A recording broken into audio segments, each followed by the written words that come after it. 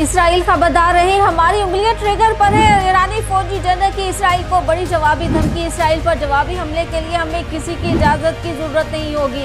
ईरानी general मुंतजम Iran ने दुश्मन को बता दिया, इसराइली फौजियों का जंग जदा इलाकों में जाने से इनकार। नेतन्याहू मुश्किल में फंस गए, आगे क्या होने वाला है जानिए खबर पॉइंट की स्टोरी में। गजा में जारी जंग लबनान से होती हुई ईरान तक पहुँच चुकी है, मगर इसराइल अपनी कामयाबी के नशे में चूर जंग बंदी पर रजामंद ना हुआ और फिर ईरान की जानब से इसराइल को बाज रखने के लिए किए जाने वाले लगातार 400 मिसाइलों ने हलचल मचा दी। ऐसे में इसराइली दिफाई निज़ाम डेविड स्लिंग वगैरह भी इन मिसाइलों को ना रोक सके, जिसके बाद इसराइली वज़ीर दिफा ने ईरान को निशाना बनाने की धमकी देते हुए कहा था कि बैलिस्टिक मिसाइल हमलों का जवाब जल्द दिया जाएगा, जिस पर खत्े में एक बड़ी जंग की पेश गोई भी की जा रही है। इसराइल की इस धमकी के जवाब में ईरानी फौज के जनरल मुर्तज़ा मीरान ने इसराइल को मुखातिब करते हुए कहा कि हम हर लम्हे चौकन्ना हैं और हमारी उंगलियाँ ट्रिगर पर हैं। इसराइल को किसी भी वक्त निशाना बना सकते हैं। ईरानी फौज के जनरल मुर्तज़ा मीरान ने कहा कि इसराइल पर जवाबी हमले के लिए हमें किसी की इजाज़त की ज़रूरत नहीं होगी।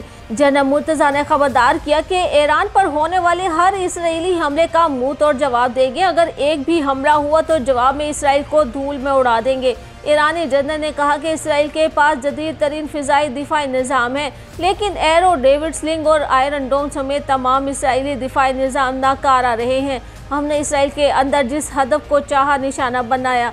ईरान की पासदारा ने इनकलाब के मुशीर ब्रिगेडियर जब्बारी ने इन हमलों में इसराइल के के एफ़ थर्टी फाइव लड़ाका तैयारे तबाह करने का दावा किया था। इन मिसाइल हमलों ने अपने टारगेट को ठीक निशाना बनाते हुए इसराइल के सबसे बड़े फौजी अड्डे जहाँ से उसने लबनान पर बमबारी की थी, को नुकसान पहुँचाया था।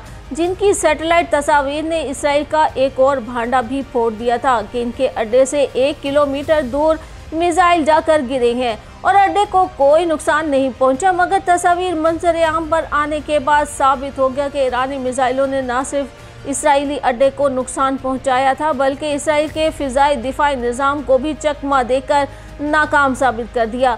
और अब दर्जनों इसराइली फौजियों ने गजा में जंगबंदी तक ड्यूटी अंजाम देने से भी इनकार कर दिया है। 130 इसराइली फौजियों ने आर्मी चीफ को खत भेजा है, जिसमें कहा गया कि जब तक हुकूमत गजा में जंग बंदी और जगमालियों की रिहाई को यकीनी नहीं बनाती, वो अपनी ड्यूटी अंजाम नहीं देंगे। खत पर मुख्तलिफ़ यूनिटों के 130 फौजी एहलकारों के दस्तखत हैं।